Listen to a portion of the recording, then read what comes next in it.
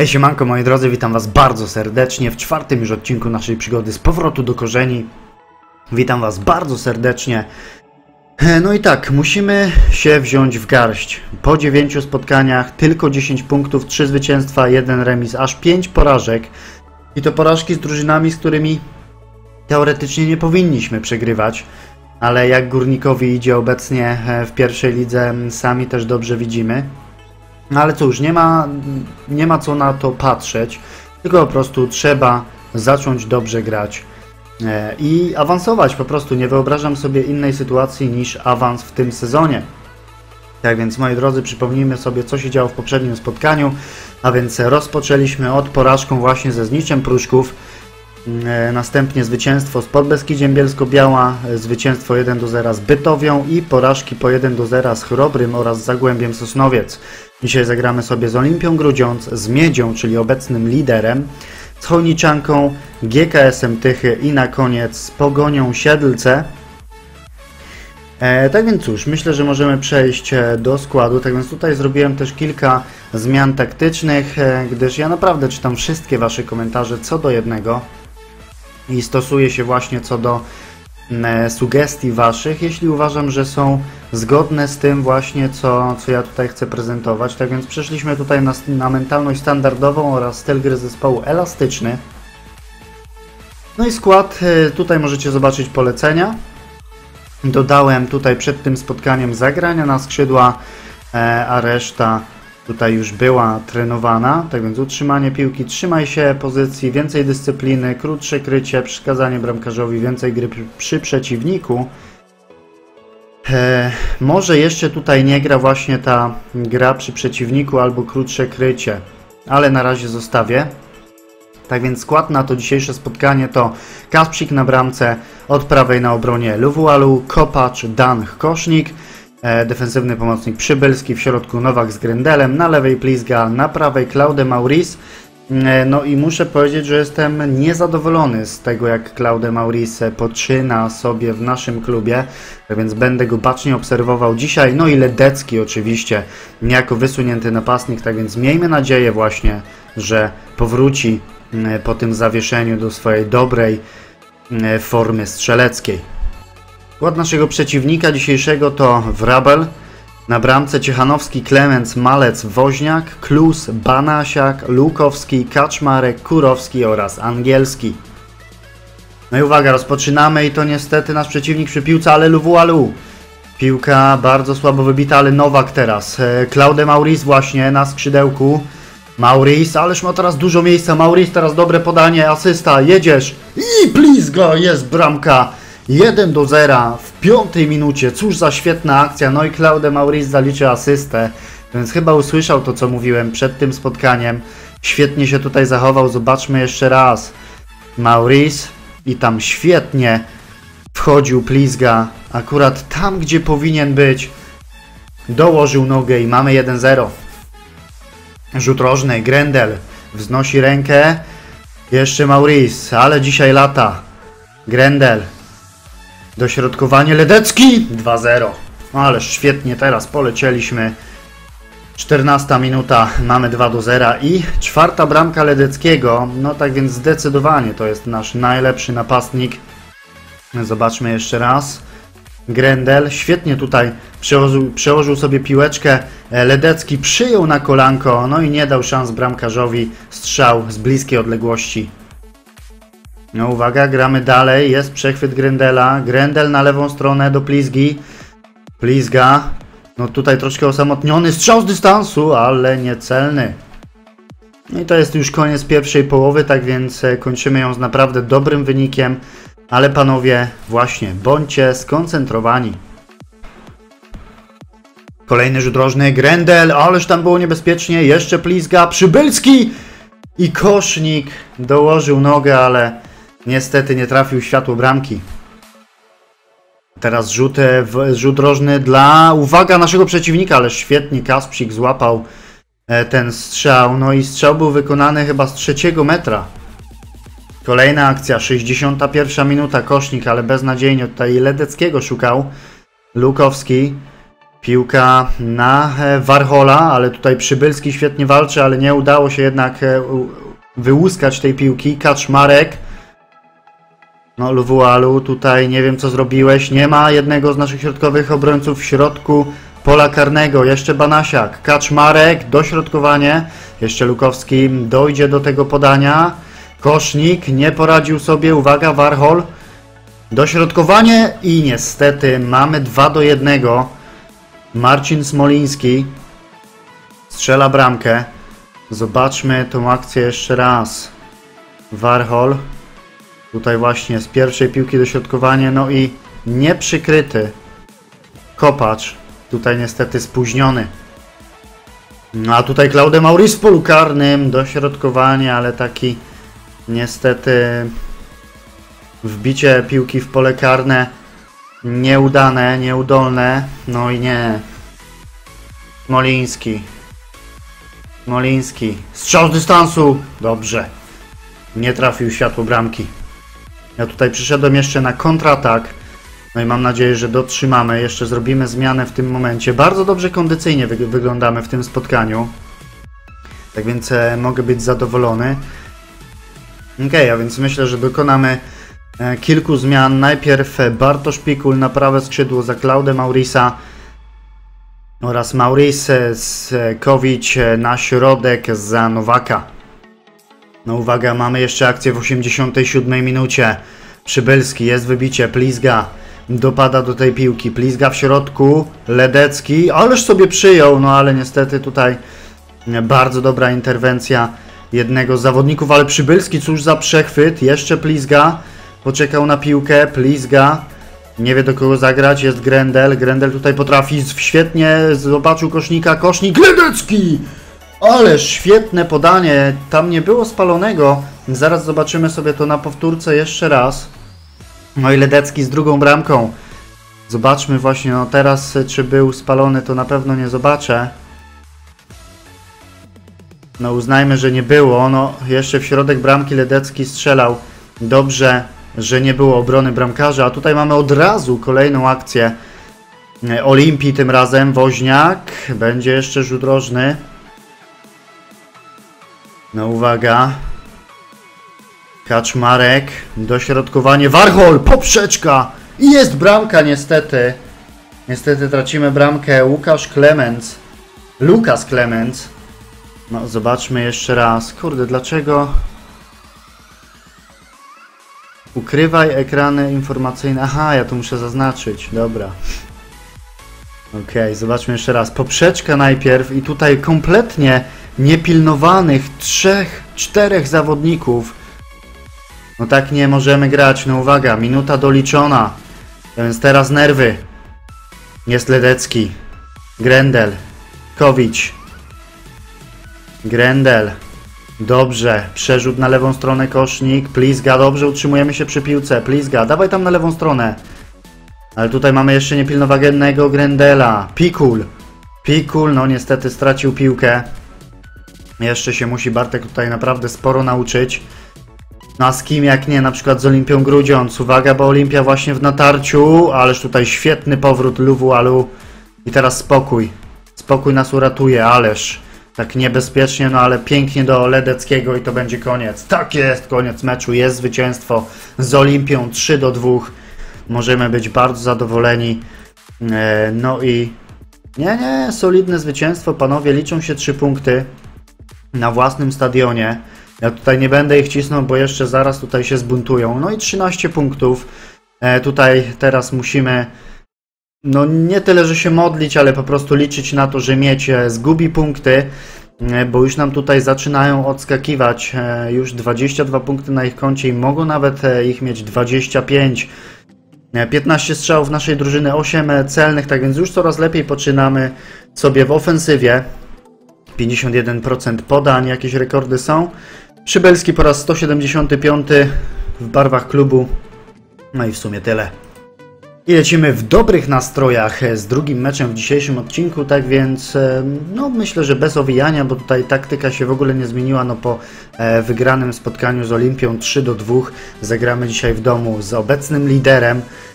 E, taką samą taktyką i prawie takim samym składem. Jedyną zmianą, którą zrobiłem jest e, kuchta, zakaz psika, tak więc e, nasz młody bramkarz dzisiaj będzie strzegł naszej, naszej bramki i od prawej w obronie Luwu Alu, Kopacz, Dan Kosznik, Przybylski, Nowak Grendel, Plizga, Klaude Maurice oraz Ledecki. A nasz przeciwnik wychodzi składem Sapela, Brozyna, pewnie Brożyna, Deamo, Midzierski, Trofinow, Łuszkiewicz, Rybicki, Forsel, Zieliński, Chrzanowski oraz Batin. No uwaga, Plizga z rzutu wolnego, Plizga prosto w mur. Jeszcze tam, ależ brama, kto to? Danch! Adam Danch! Ależ! Jeszcze jakieś fikołki tam napieprza, moi drodzy, Danchowi. Powiedziałem przed tym spotkaniem, żeby zaczął E, bardziej się pokazywać, że skryty, skrytykowałem go za jego postawę na treningach i proszę bardzo. No i to wszystko jak na razie w pierwszej połowie, tak więc mamy 1 do 0, czyli myślę, że standardowo nie wolno Wam się teraz dekoncentrować. No uwaga, mamy akcję dla naszego przeciwnika, ale jest szybki przechwyt kosznika. Kosznik do przodu, Ledecki. W końcu jakaś akcja z Ledeckim, chyba będzie sam strzelał. Uwaga, Ledecki strzał! Niestety Sapela e, dobrze broni uderzenie naszego e, snajpera i to koniec. Mamy jeszcze rzut wolny, znów Plizga podchodzi do piłki, ale niestety znowu bardzo słabo. Tutaj będzie przechwyt, nie będzie. Luwualu, koszmarny błąd i uwaga, Batin, pole karne i nie ma bramki, na szczęście, gdyż Kuchta em, no bardzo słabo się zachował, trzeba to przyznać. E, gramy dalej, Sapela od bramki, tutaj będzie przechwyt, Plizga. Strata piłki niestety i teraz uwaga, Batin. Batin z drugiej strony, Batin prawa noga, tym razem Kuchta. Świetnie broni.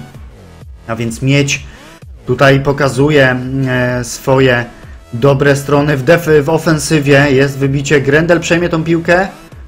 Faulował. Grendel faulował. No i może być niebezpiecznie. Rzut wolny. Forcel, dośrodkowanie. Danch wybija. Znów Forsell przy piłce. Perez. Perez, ale tutaj bardzo dobrze wypychany przez Grendela. I świetnie, koniec akcji. No my w tym momencie myślę, że zrobimy zmianę. E, a więc za słabo spisującego się Ledeckiego. No miałeś 70 minut, stary, tak więc wejdzie młody Krzysiek Kiklaisz. E, I on tutaj jest lisem pola karnego jak najbardziej. E, no i jeszcze może za Grendela wpuścimy Kwieka. No uwaga, mamy akcję. Sapela. Ja się normalnie tutaj boję, nie? Kuśnierz, Forsell. Ależ zrobił Kwieka jak chciał. Rybicki, no tutaj Luwualu niestety słabo w obronie, uwaga! Nie ma bramki, ależ tam... No niebezpiecznie e, pod naszą bramką. Niebezpiecznie w naszej szesnastce, ale to wszystko. Jeszcze na ostatnie 9 minut wpuścimy Lukasa Cueto na lewe skrzydło, skrzydłowy e, i myślę, że jeszcze cofniemy się tutaj na kontratak. No panowie, to już jest doliczony czas gry. Nowak z dystansu, jeszcze tutaj po rykoszecie chyba był ten strzał, tak jest, będziemy mieli rzut rożny. 93 minuta, tak więc e, no myślę, że już nic nam nie zagrozi. Tak jest, koniec meczu, sędzia nawet nie pozwolił na rozegranie tego stałego fragmentu gry, tak więc pięknie panowie, wygrywamy z liderem, pokazujemy, że potrafimy wygrywać i solidne zwycięstwo. Świetnie. E, Dan, gracz meczu, oczywiście za tą piękną bramkę, Przybylski z asystą. E, no i możemy być zadowoleni. Zobaczmy statystyki. 18 strzałów Górnika, 17 strzałów Miedzi, tylko 3 celne. U nas no też niestety tylko 5 aż 22 faule naszego przeciwnika. I Wisła Puławy wygrywa swoje pierwsze spotkanie z Podbeskidziem Bielską Białą. No jak tak dobrze nam idzie, to ja nie widzę tutaj naprawdę powodu, dla którego miałbym cokolwiek zmieniać. No niestety Janik Dem doznał kolejnej kontuzji, tak więc chyba pogłębiła się ta jego kontuzja e, wcześniejsza, w której już Wam pokazuję, e, stłucze, stłukł sobie nogę, a teraz niestety skręcił staw skokowy, tak więc e, ta kontuzja wyklucza go z gry na około 4-5 tygodni. Więc myślę, że on chyba już tutaj na jesieni sobie nie pogra. Tak więc to jest doskonała sytuacja dla Luwualu. E, który dobrze rozwija się na treningach. Decyzje ma naprawdę bardzo dobre. ocena już mu tutaj zaczyna rosnąć, tak więc to mnie naprawdę cieszy. No i e, kompletnie bez żadnych zmian, jeśli chodzi o taktykę oraz nasze ustawienie, tak więc po prostu lecimy z meczem. A Chojnicianka dzisiaj w składzie Budzilek, Lisowski, Markowski, Kolarik, Majtyka, Zawistowski. Tak, bardzo dobrze znany zawodnik. E, Matthews Bisi, Biskup, Rybski, Niedziela oraz Mikołajczak.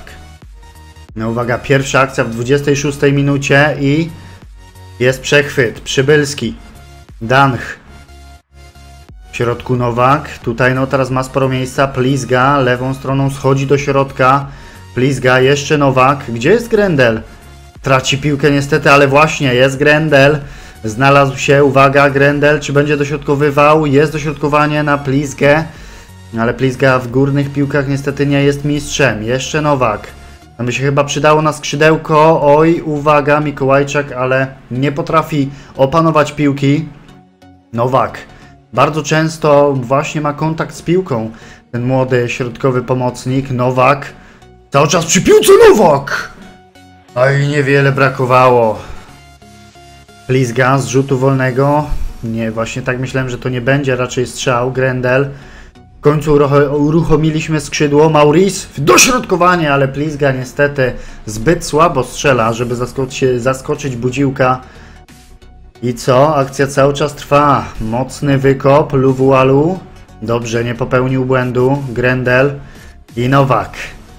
Masz tutaj miejsca. Do przodu. Do przodu zapraszam. Grendel. No ale Grendel niestety nie radzi sobie e, w środku pola. Rybski. No tutaj Nowak próbuje, e, stawia mocny pressing, ale Rybski zdobywa boisko. Rybski strzał z dystansu. I co z tego wyszło? Widzimy doskonale. No i to tyle jak na razie w pierwszej połowie, tak więc no wciąż jeszcze możemy wygrać to spotkanie oraz oczywiście e, potraficie grać znacznie lepiej. No i doszliśmy już do 70 minuty, więc nic na razie się nie dzieje, a przynajmniej e, nie widzieliśmy, żeby cokolwiek się działo. Tak więc myślę, że wejdzie Lucas Cueto na lewą, na lewe skrzydło. E, będzie to skrzydłowy. No i myślę, że zaufamy, znaczy no, czy zaufać to jeszcze nie wiem, ale wpuścimy Igora Anhulo. Zobaczymy.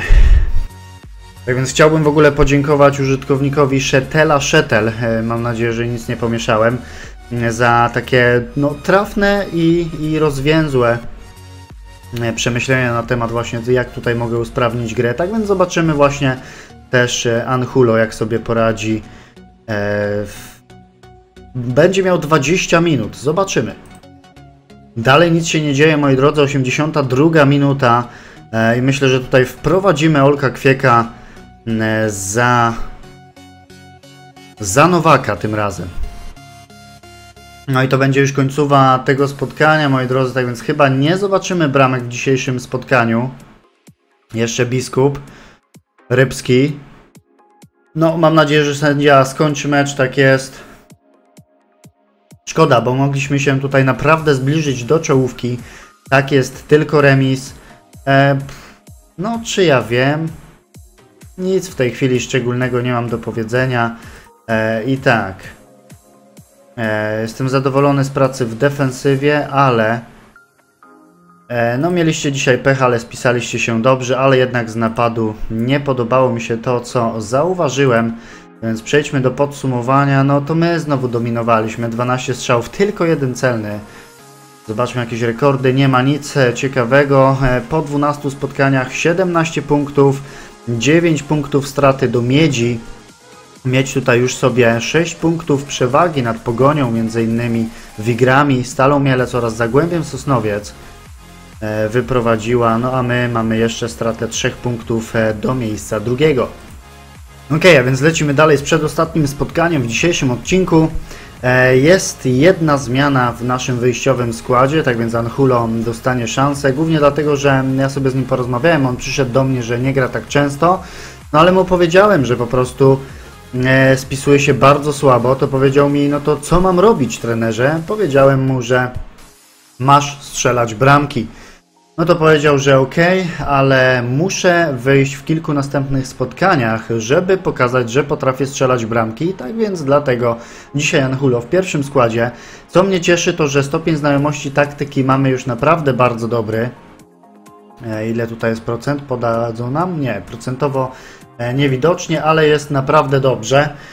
E, no tak więc cóż, tutaj jeszcze jak widzicie zmiany w rezerwach, Ledecki, Pawłowski na rezerwie, Kłeto, Kwiek, Matuszek, Gruszka. Nie wiem czy pamiętacie, ale nasz młodziutki lewy obrońca tutaj z jakimś potencjałem, ale głównie dlatego go wpuściłem, bo naprawdę świetnie spisuje się w meczach rezerw oraz U21. E, co tutaj jeszcze? E, no Pikul e, nie ma go na rezerwach, ponieważ no nie jest gotów do gry. 85% to troszeczkę za mało. No i cóż, lecimy. A GKS Tychy dzisiaj w składzie Igas, Górkiewicz, Berezowski, Tanzyna, Mączyński, to były zawodnik Górnika Zabrze, Grzybek, Arezina, Zganiacz. Co ty gadasz, że ty jeszcze żyjesz? No taki stary to on nie jest w sumie. Kowalski, Grzeszczyk oraz Świerczok. No uwaga, mamy pierwszą akcję, jest przechwyt Plizgi. No i co teraz wykombinuje? Przybylski, Grendel. Tutaj do Nowaka trzeba było grać Grendel w dryblingu, proszę bardzo, przyszedł sobie jednego zawodnika. Teraz strzał z dystansu Grendela. No ale obok bramki. Teraz Górkiewicz, ależ wrzut w pole karne, Danch. Ale wybicie wprost pod nogi Kowalskiego. Kowalski, strzał, ale tutaj Kuchta bez problemu łapie ten naprawdę słaby strzał. No Kuchta w dwóch ostatnich meczach e, czyst, dwa czyste kąta. No i e, Grzybek. Grzeszczyk. Ale ładnie tutaj się zaasekurowali na lewej stronie. A Rezina w środku i niestety będzie czerwona kartka dla Przybylskiego już w 35 minucie. No niestety. No niestety wyrzucony z boiska nasz środkowy pomocnik, tak więc przechodzimy oczywiście na kontratak. E, no i trzeba będzie przetrwać jakoś to spotkanie. Koniec pierwszej połowy, tak więc tutaj e, no już akcji żadnej nie widzieliśmy. E, no i panowie... Okej, okay, dalej panowie gramy w 10, ale dobry wynik wciąż jest możliwy. Nic tutaj nie jest przesądzone, spokojnie. Mamy okazję, Anhulo z rzutu wolnego. Wybijają niestety i teraz ile? Dwóch, trzech, e, czterech, pięciu na trzech. Uwaga, świerczok. Dalej pięciu na trzech. Ok, teraz nasi wbiegają do pola karnego, ale niestety, niestety Veradi nieupilnowany.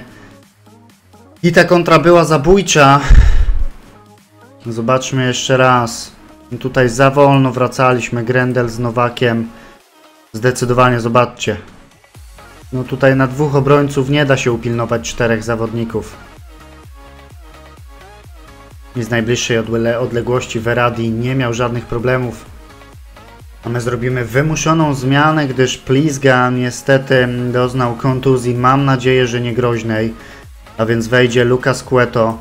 E, myślę, że też już wystarczająco Anhulo e, poczyniał sobie na, boisko, na boisku, dlatego wejdzie nasz e, najlepszy strzelec Dawid Ledecki i jak na razie to wszystko.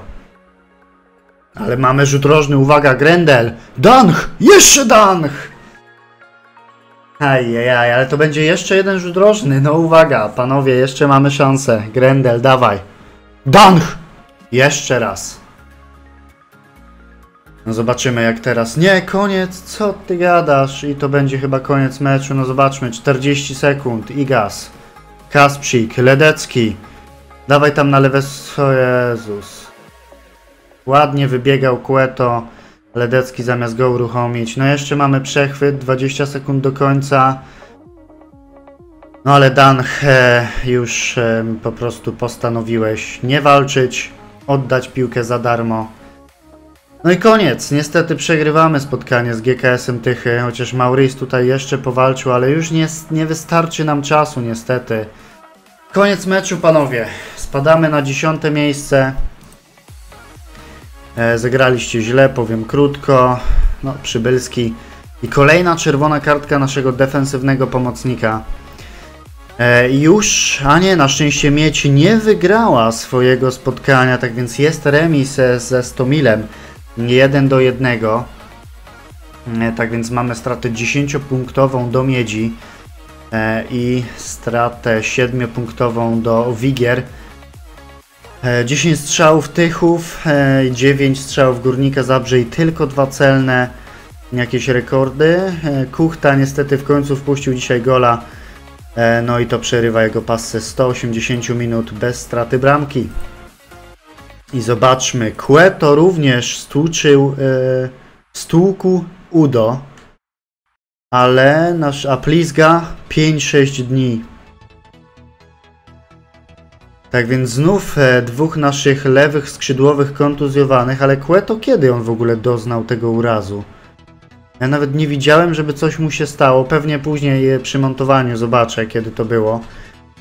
No ale niestety, co tutaj jeszcze? Przybylski odsunięty, Anhulo w tarapatach po raz kolejny nie zdobył bramki. Ile to już spotkań? 10 spotkań, raz z ławki e, i... Czy on strzelał karnego i nie wykorzystał? Chyba nie. No atrybuty tutaj ma naprawdę dobre. No ja myślałem przed sezonem, że to jest naprawdę dobry zawodnik, że będzie tutaj grał no zdecydowanie lepiej, ale jak widać e, bardzo grubo się pomyliłem. No i uwaga, zarząd zaprasza na spotkanie. No i tak, jesteśmy rozczarowani wynikiem meczu, w którym naszym przeciwnikiem był GKS Tychy i chcielibyśmy dowiedzieć, dowiedzieć się, co się stało. Okej, okay, myślę, że na spokojnie tutaj ja przyznam się do błędu, podjąłem kilka nietrafionych decyzji i przepraszam za ten wynik pięknie. Ok, tak więc nie będą nam stawiać żadnego ultimatum, tak więc udało nam się przetrwać tą rozmowę. No ale to nie zmienia faktu, że my musimy tutaj zacząć jednak zdobywać te punkty. No fajnie, bo e, wygraliśmy dwa spotkania, jedno zremisowaliśmy, ale no trzeba piąć się e, tutaj po tej drabinie aż do miejsca, no chociaż tego drugiego. No ale z Miedzią potrafiliśmy e, wygrać i to jesteśmy jedyną drużyną zaraz obok Olimpii Grudziądz, z którą Miedź przegrała. Ostatni mecz w dzisiejszym odcinku, moi drodzy, tak więc musimy go wygrać. Po prostu musimy, jak nie, to mnie, no, wyrzucą mnie z tego klubu. Zanim w ogóle przejdziemy do składu i tak dalej, to chciałbym zrobić zebranie zespołu. Chciałbym im tutaj jednak troszeczkę pocisnąć. Hmm. Tak więc tak, nie zaczęliśmy najlepiej.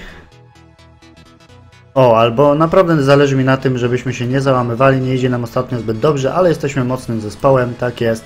Proszę bardzo, wszyscy e, uważasz, że zespół jest w kiepskiej formie, dobrze się zrozumieliśmy i dokładnie takie reakcje oczekiwałem, no i zobaczcie, ale świetnie tutaj podnieśliśmy całą drużynę na duchu. O to chodziło. E, tak więc niestety przez kontuzję oraz zawieszenia tutaj musieliśmy wykluczyć e, z zespołu kilku zawodników, tak więc skład na dzisiejsze spotkanie to Kuchta, Luwualu, Kopacz, Dan Kosznik. Tutaj nic się nie zmieniło. Defensywny pomocnik to Matuszek, w środku Kwiek z, Gren z Grendelem, na lewym skrzydle Anhulo.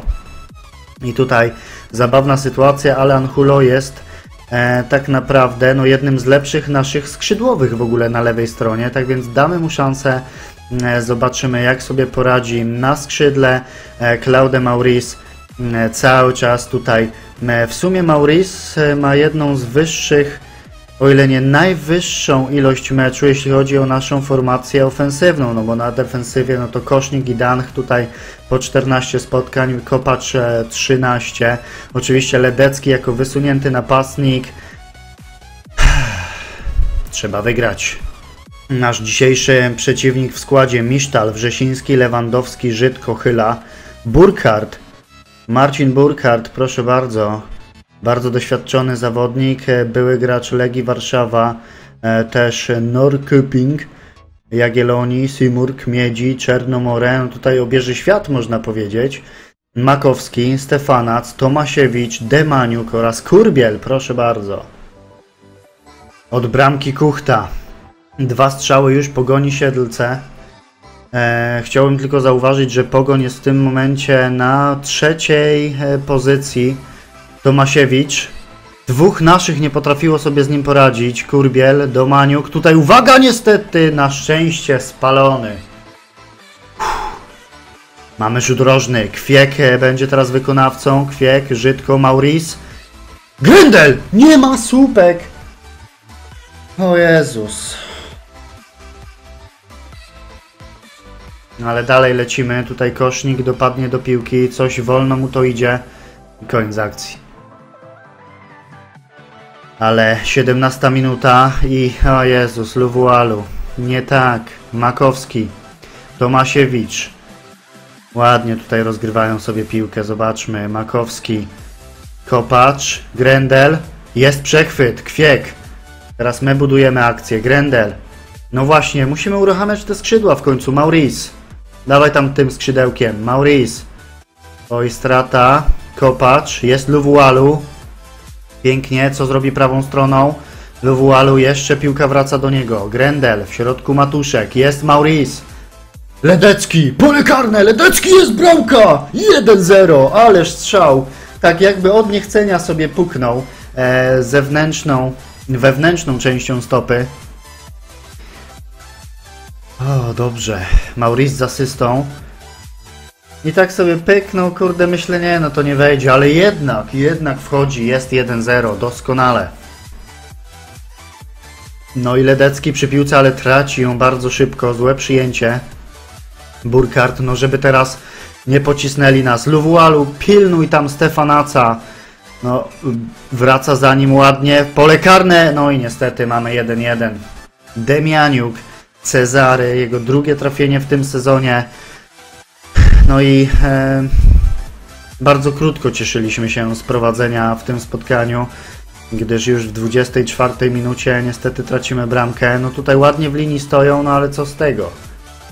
I Kuchta nie dał rady. No mamy znów e, rzut rożny, kwiek. Ale Misztal tutaj bez problemu sobie poradził. No Kopacz potrafi uderzyć piłkę głową. No ale niestety tym razem Misztal był e, o wiele szybszy. Luwualu. Kopacz, ależ akurat się znalazł tam, gdzie powinien. Le, le, Ledecki. Grendel. No ależ, już myślałem, że będzie strata. Kwiek, Ledecki. Uwaga, pole karne. Anhulo, jest bramka! W końcu bramka Anhulo. Pierwsze trafienie w tym sezonie oraz pierwsze trafienie dla klubu. Ależ dobrze, Ledecki go tutaj znalazł. Pięknie. Lewą nogą tutaj Misztal. No zabrakło refleksu, ale dobrze, bo mamy 2 do 1. To jeszcze nie koniec pierwszej połowy. Maurice. Grendel, to jest chyba mecz z największą ilością akcji. Ledecki, uwaga Ledecki, pole karne, Ledecki! Ale Misztal, no tym razem e, ten refleks zadziałał. No i mamy koniec pierwszej połowy, tak więc z fajnym wynikiem go kończymy, gdyż prowadzimy. No i właśnie. Zdezorientowani, zestresowani, więc tutaj nie graliście tak źle, oj. Dobra, już nic może lepiej nie będę mówił. Mam nadzieję, że zbytnio nasza obrona teraz nie da dupy. No uwaga, coś z tej pierwszej akcji po wznowieniu gry chyba będzie. Uwaga, Demianiuk. Pole karne Stefanac. No i 2-2. Stefanac to jest również jego druga bramka w dzisiejszym meczu. Ależ tutaj daliśmy się, no... To chyba moja wina jest niestety e, tym, co powiedziałem w przerwie. No 2-2. Rzut rożny dla Pogoni, Świerbiewski, Lewandowski i nic z tego. Czyżby to był koniec akcji? Tak jest. A my w tym momencie, moi drodzy, zrobimy zmianę. E, no Kwiek nie radzi sobie, ale to Grendel potrzebowałby zmiany. E, no mamy Nowaka, ale myślę, że jednak no Nowak za Kwieka. Kwiek 6,5 tylko ocena, bardzo słaba. Luwualu 6,40, Danch 6,50. No to są bardzo słabe oceny naszej e, defensywy. No ale myślę, że i tak zostawię resztę na boisku i e, Nowak to będzie jedyna zmiana. W 87 minucie muszę tutaj zrobić zmianę, więc myślę, że wejdzie Darek Pawłowski za Aleksisa Klaudę Maurisa. No Pawłowski tutaj dysponuje dobrą szybkością, więc mam nadzieję, że na podmęczonego przeciwnika świeży zawodnik tutaj na prawym skrzydle e, może zrobić różnicę i jeszcze tutaj zagrajmy na ataki prawym skrzydłem. Ale to chyba będzie jednak wszystko w tym spotkaniu. No nawet nie było tutaj przejęcia. Tak jest, niestety, niestety tylko remis 2 do 2. E, no dla mnie było nie najlepiej, ale mieliście dzisiaj pecha, e, im powiem. I teraz tak, jestem niezadowolony z defensywy. E, mieliście dzisiaj pecha, ale spisaliście się dobrze i to samo powiem naszemu naszej formacji ofensywnej. No w końcu Anhulo strzelił bramkę, ale szkoda, że nie wygraliśmy tego spotkania. E, Zaraz sobie zrobimy podsumowanie. 17 strzałów, 8 celnych. No to był jeden z lepszych meczy w naszym wykonaniu. No Jan Hulo strzelił swoją pierwszą bramkę ligową po 729 minutach. E, No i tak, Ledecki imponuje formą bramka oraz asysta. Tak więc już tych bramek nastrzelał 6 e, z jedną asystą 7,44. No bez wątpienia tutaj będziemy na pewno e, naszego Dawida Ledeckiego wpuszczać e, jako napastnika. Konferencja, no to może później. No i podsumujmy sobie ten odcinek. Tak więc zaczęliśmy naprawdę świetnie. E, od zwycięstwa z Olimpią Grudziądz oraz Miedzią. To były naprawdę ważne zwycięstwa. No i następnie remis z Chojniczanką, porażka z Tychami i remis z Pogonią Siedlce. W następnym odcinku spotkamy się z Sandecją, Wisłą Puławy, e, Stalą Mielec, e, Wigrami, znowu. Z Wigrami już graliśmy, tak jest i przegraliśmy. Oraz zakończymy jesień z MKS-em Kluczbork. E, zobaczmy sobie jeszcze właśnie e, jak tam pozycja w tabeli. Tak więc no nie wszystkie drużyny jeszcze rozegrały swoje spotkania. Tak więc, e, a jeszcze dajcie mi chwilę. Ok, a więc mamy już tutaj no, wyniki prawie wszystkich e, drużyn. Tak więc możemy sobie, o właśnie, zapowiedź sezonu, tak więc nadal, mimo wszystko jesteśmy uznawani za faworyta do wygrania tej ligi 4,25. Pod Beskidzie również do awansu 5,50, Zagłębie z Miedzią trzecie, czwarte miejsce, GKS Katowice, Olimpia, Chojniczanka, Pogoń Siedlce dopiero tutaj, Wigry. Wow, no to się tutaj grubo pozmieniało.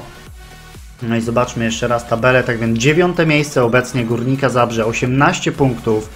Tak więc już tracimy 3 punkty do e, oczka wyżej e, i 6 punktów do miejsca drugiego, czyli jeszcze naprawdę, no aha, bo Wigry jeszcze mają jedno spotkanie, zagrają z Bytowią, więc no tutaj trzeba liczyć, że będą mieli 27 punktów, no czyli 9 punktów będziemy tracić do miejsca drugiego e, i 12 cały czas do Miedzi. No ale cóż, no nie ma co kalkulować, trzeba po prostu e, zacząć wygrywać te spotkania i naprawdę jestem ciekaw, jak będzie wyglądała sytuacja e, przed przerwą zimową. No zobaczymy, jak to będzie. E, Co tutaj jeszcze nic ciekawego? Dobra, moi drodzy, tak więc trzymajcie kciuki, e, żeby w następnym odcinku było tylko lepiej. No i cóż, dzięki za oglądanie, do zobaczenia kolejnym razem. Trzymajcie się. Siemano!